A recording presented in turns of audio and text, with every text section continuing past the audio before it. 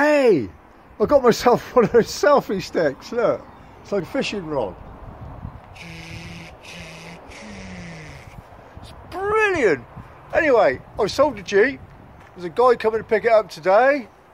Coming from Swindon. Sold on eBay. This is absolutely amazing, isn't it? Wow. oh, Christ, the fun you can get for a tenner. Anyway, yeah, so I sold the Jeep, so Zirak and the Pat, if you're listening to this, and you better be listening to this, I'm coming back to Bangkok because I'll have some more dosh when this is sold. And the flights are cheap at the moment. Look at my hair, what a mess, man. Yes, so I will be back in Asia very soon.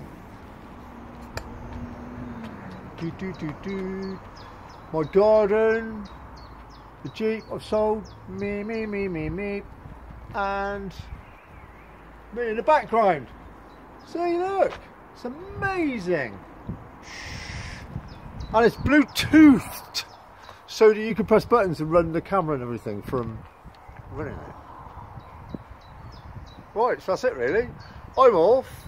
This is my latest film for Facebook and Traveller's Zach in Somerset at about, God knows, about 3.30 p.m.